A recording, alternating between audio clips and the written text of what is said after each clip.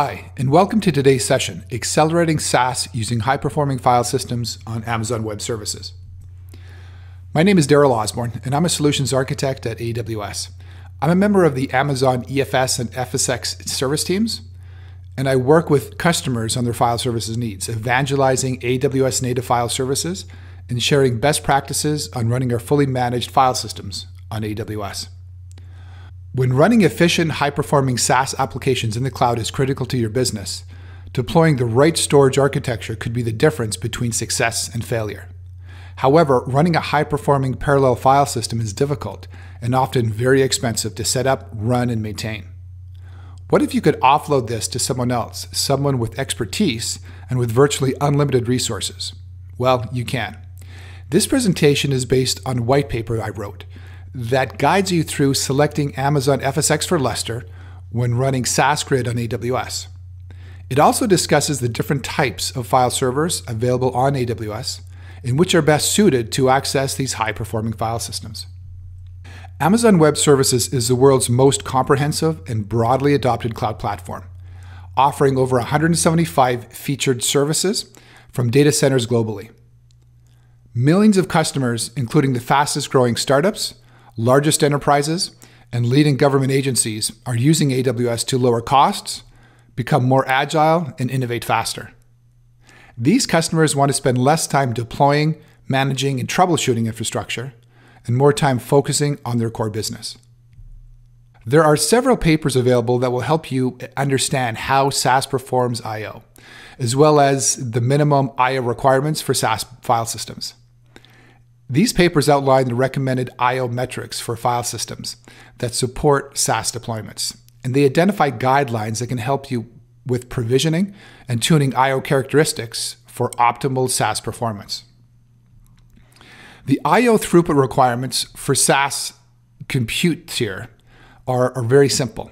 Uh, each node should have at least 8 gigabytes of memory per physical core.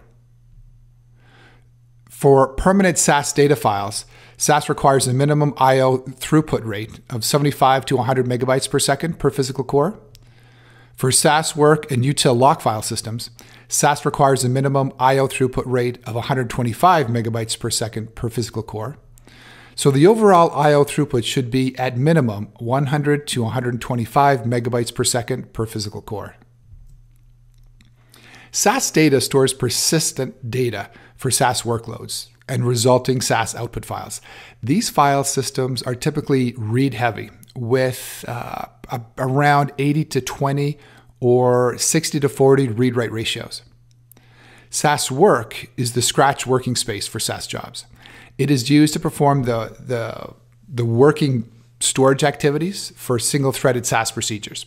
These file systems are typically balanced between read and write activity with a 50 50 read write ratio.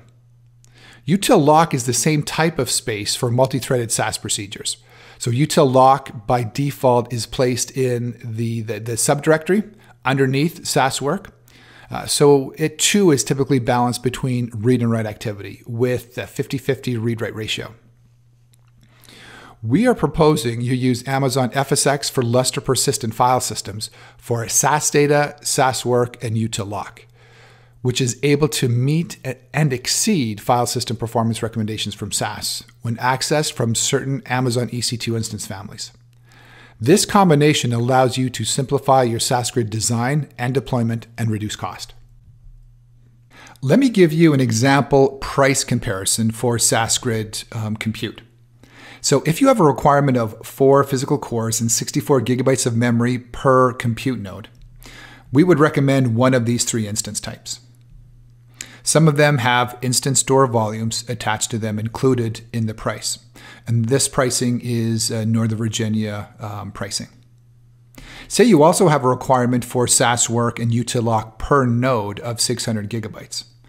Based on those, we would eliminate one of those instances because it doesn't have enough um, instance store volumes to satisfy that requirement. But the R5N also doesn't have instance store volumes, but we would recommend using uh, FSx for Lustre for SAS work and util lock. So we just need to allocate 600 gigabytes per compute node on the FSx for Lustre file system to accommodate this, to offload um, SASWork and Utilock to FSX for Lustre. If we have 10 nodes within our environment, the, the monthly price would be roughly $6,600 for the i3 EN instances, or $3,900 for the R5Ns, plus the 600 gigabytes of FSX for Lustre storage per node. That would give you a monthly savings of $2,600 or 40.23%. Amazon FSX for Lustre is a fully managed version of the Lustre parallel file system. And Lustre file systems provide throughput up to hundreds of gigabytes per second and millions of IOPS. It provides consistent sub-millisecond latencies due to the parallel file system design when clients talk directly to servers.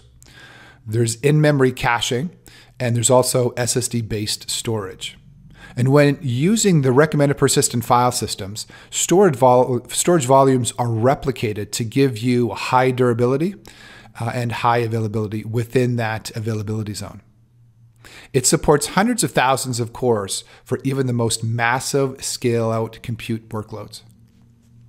Each Amazon FSX for Lustre file system is comprised of file servers that the clients communicate with, and a set of disks attached to each file server that stores your data. Each file server employs a fast in memory cache to enhance performance for the most frequently accessed data. When a client accesses data that's stored in the in memory cache, the file server doesn't need to read it from disk, which reduces latency and increases the total amount of throughput you can drive. The following diagram illustrates the paths of a write operation, a read operation served from disk, and a read operation served from in memory cache. When you read data that is stored on the file server's in memory cache, file system performance is determined by the network throughput. When you write data to your file system, or when you read data that is not stored in the in memory cache, file system performance is determined by the lower of the network throughput and the disk throughput. Ultimately, FSX for Lustre's capabilities make it faster and cheaper to process your datasets. You don't want your compute bottlenecked by I.O. FSX for Lustre is designed so that doesn't happen. There is tight integration with S3, which reduces overhead of orchestrating movement back and forth between S3 and FSX for Lustre. There are different deployment types for short-term and long-term workloads. And it is fully uh, managed, it is a fully managed POSIX file system that is compatible with all Linux workloads. And there are a number of ways to use Amazon FSX for Lustre to reduce your overall TCO. Amazon FSX for Lustre offers a choice between Scratch and persistent file systems for short-term and long-term data processing. Scratch file systems are ideal for temporary storage and shorter-term processing of data. Data is not replicated and does not persist if a file server fails. Persistent file systems are ideal for long-term storage and workloads. In persistent file systems, data is replicated, and file servers are replaced if they fail. Because of this higher data durability and higher availability of persistent file systems, we recommend persistent file systems for all types of SAS Grid data, including SAS work, SAS Data, and Utilock. There's a lot of information on this slide, but here are a few key takeaways. Persistent file systems have higher availability and durability than Scratch. Metadata and storage servers are automatically replaced on failure, and storage is replicated within the same availability zone. I'll talk more about performance uh, differences in, in the next slide. Both can achieve millions of IOPS and sub-millisecond latencies regardless of the size of the file system. Encryption of data at rest and in transit are available for both file systems. And file systems can be 1.2 terabytes or 2.4 terabytes. And you can have larger file systems in increments of 2.4 terabytes. Here I'm comparing the performance characteristics of Scratch and persistent file systems. The throughput that a file system supports is proportional to its storage capacity. File systems scale to hundreds of gigabytes per second of throughput and millions of IOPS. It also supports concurrent access to the same file or directory from thousands of compute instances. Amazon FSX provides burst read throughput using a network I/O credit mechanism to allocate network bandwidth based on average bandwidth usage. The file systems accrue credits when their file system usage is below their baseline limits and can use these credits when they perform network um, data operations. So just to recap, we do recommend using persistent file systems for FSX for Lustre uh, for all your SAS Grid libraries, including SAS Data, SAS Work, and Utililock. Today, we're available in 12 regions, and we continue to launch in uh, launch FSX for Lustre in other AWS regions around the globe.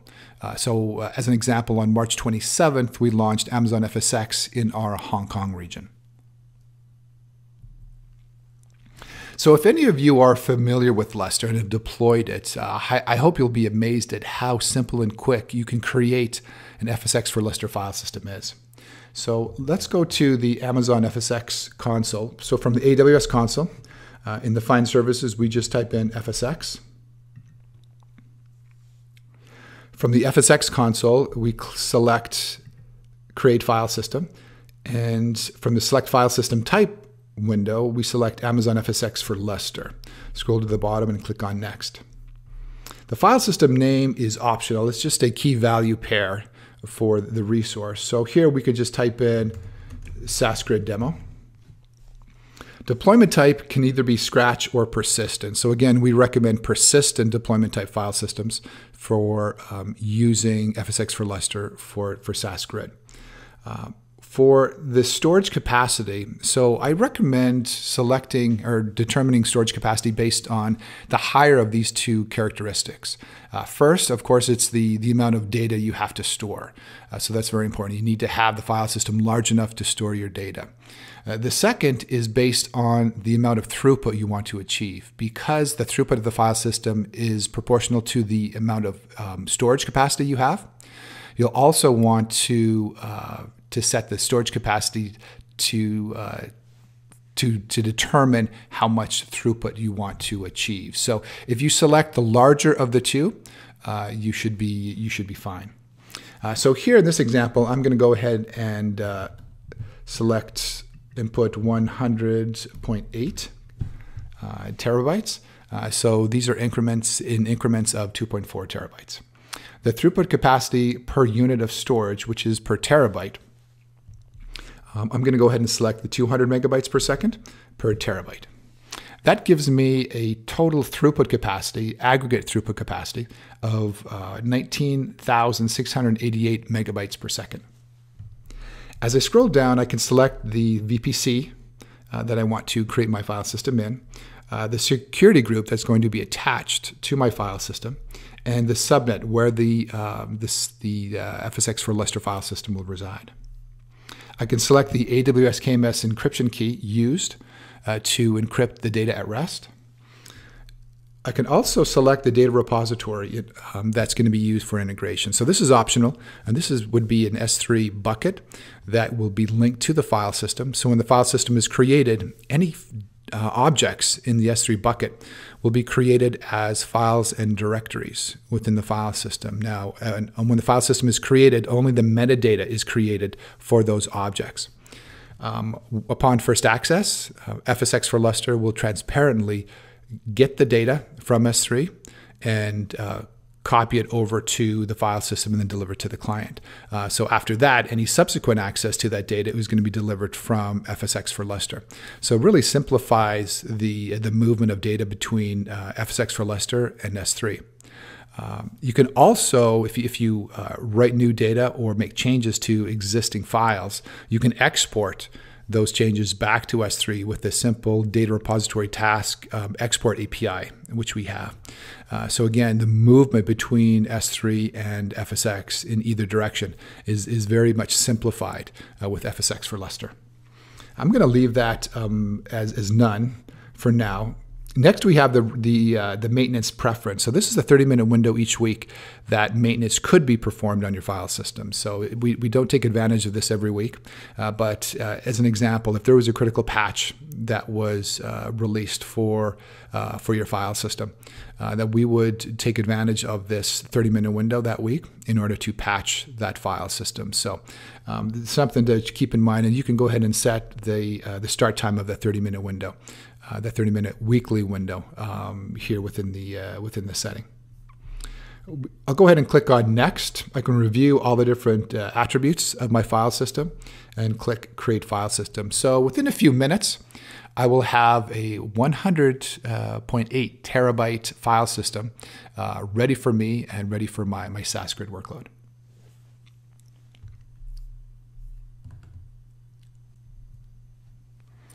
So now that we've selected our recommended file system for SAS Data SAS Work and Utilock, we need to make sure that we select an Amazon EC2 instance for the compute nodes in order to achieve the file system performance recommendations.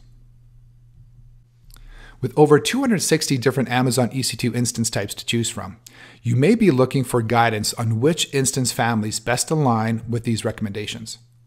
Aligning these recommendations with EC2 resource characteristics is critical in selecting the right EC2 instance family or type. So, which one do you choose? To help you with this selection, I ran a series of highly parallel network throughput tests from individual EC2 instances against a 100.8 terabyte FSx for Lustre file system, which had an aggregate throughput capacity of 19.688 gigabytes per second. IOR was used to generate write activity to the file system using parallel threads and direct IO, so I was bypassing IO buffers. These tests were run in multiple AWS regions, so Northern Virginia, Ohio, Oregon, and Ireland. Using multiple EC2 instance families identified here, um, I ran these tests. So based on these tests, I narrowed down the field to five instance families that I recommend the i3EN, the M5N, the M5DN, the R5N, and the R5DN. So those are the, the instance families that um, sort of align with the recommended minimum uh, requirements for SAS Grid, both for network performance and memory. If we look closer to these five instance families, I ran an IOR write test using multiple threads against all the instances in all of these families, all using Amazon FSx for Lustre as that backend storage system. So to achieve the maximum throughput per instance accessing uh, that persistent FSx for Lustre file system, we recommend using multiple threads or run multiple jobs per EC2 instance. We have to work within the laws of physics. FSx for Lustre is a high performance file system accessed over the network there is added latency when accessing storage over the network compared to local disks. So in order to achieve the levels of throughput, Amazon FSx, with Amazon FSx, you need to use multiple threads per instance. If your workload is single threaded, you may consider using instance families with Instance Store local NVMe disks for SAS work and util lock, as you can achieve these levels of throughput to local NVMe drives when using single threads.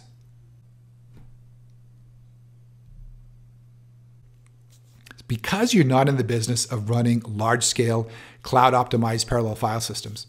We recommend using Amazon FSx for Lustre persistent file systems for all SAS grid, including SAS data, SAS work, and util lock. This allows you to focus more on running your business and the SAS grid application unless less on managing the high performing file system. Your goal with selecting a file system for your SAS deployment is to make sure you get consistent low latencies, high throughput, and millions of IOPS so your SAS jobs complete within the expected time frame. While there are storage, other storage options for running SAS Grid on AWS, like Amazon Elastic File System or do-it-yourself sort of DIY file systems using Amazon EC2 uh, and either Instance Store Volumes or Amazon Elastic Block Store or EBS or even third party um, storage solutions. These offerings add cost and complexity and may impact performance, availability, and data durability. We recommend Amazon FSx for Lustre for its ease of use, quick deployment, performance, simplicity, availability, and durability. We also recommend using M5N and R5N Amazon EC2 instance families for SAS Grid compute nodes when accessing the SAS Grid libraries hosted on Amazon FSx for Lustre. Thanks for watching and have a great day.